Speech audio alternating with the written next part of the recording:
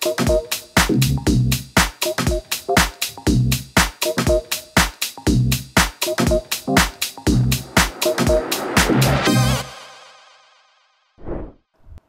guys, ketemu lagi di Mikrotik Tips dan kali ini kita akan membahas mengenai fungsi-fungsi tombol reset. Jadi seperti ini ada tombol resetnya dan hampir di semua router board yang lain juga tombol reset ini ada.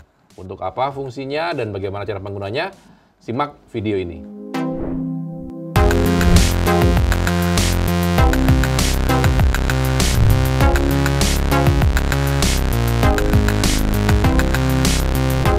Kali ini kita akan membahas mengenai fungsi tombol reset dan sebelum video ini kita mulai, untuk yang belum subscribe, subscribe dulu di channel ini karena kami akan selalu memberikan informasi dan video-video yang menarik seputar networking dan mikrotik.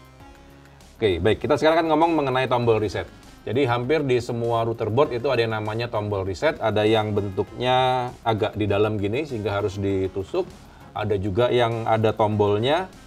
Nah, Fungsinya apa? Ternyata fungsinya ada banyak.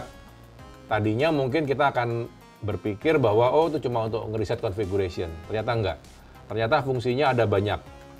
Yang pertama, kalau kita menekan tombol ini selama 3 detik, maka kita akan masuk dalam mode yang disebut untuk update firmware.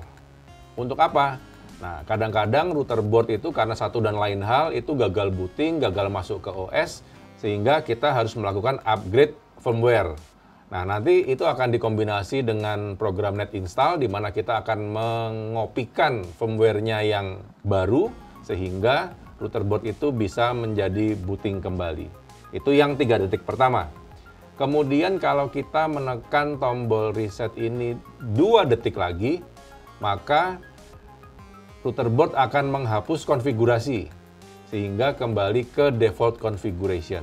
Di mana setelah kita menekan 5 detik ini, itu lampunya blink. Jadi kalau kita mau mereset configuration, kita tekan 5 detik sampai LED-nya blink.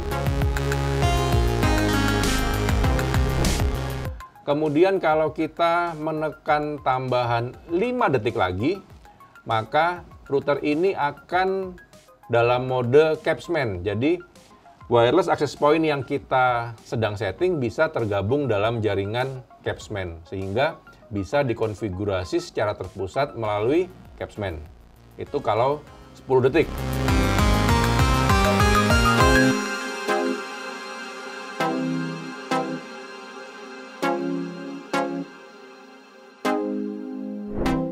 Dan di mode 10 detik ini itu LED-nya udah nggak blink lagi tapi akan menyala continue atau menyala terus.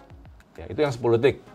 Kemudian yang terakhir, yang terakhir kalau kita menekan 15 detik kemudian LED-nya akan mati. Nah, di sini artinya bahwa kita akan masuk ke mode net install di mana kita bisa melakukan instalasi router OS yang baru. Tentu kita juga harus menyiapkan software net install untuk melakukan net installnya dan juga mungkin kita harus siap juga apa file router OS-nya yang ingin kita install yang versi berapa. Nanti untuk cara-cara melakukan net install bisa disimak di video-video kami yang lain. Ada beberapa video yang sebelumnya di mana kita sudah melakukan tutorial untuk net install. Ya.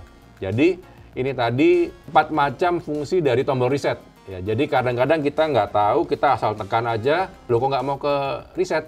Ternyata sudah kelamaan nekannya. Atau kita ingin masuk mode net install tapi kita baru nekannya 5 detik misalnya, tentu belum masuk ke mode net install. Jadi itu tadi yang harus kita simak kalau kita mau menggunakan tombol reset. Sekian dulu video tutorial kali ini, kita akan sambung lagi di video yang lainnya.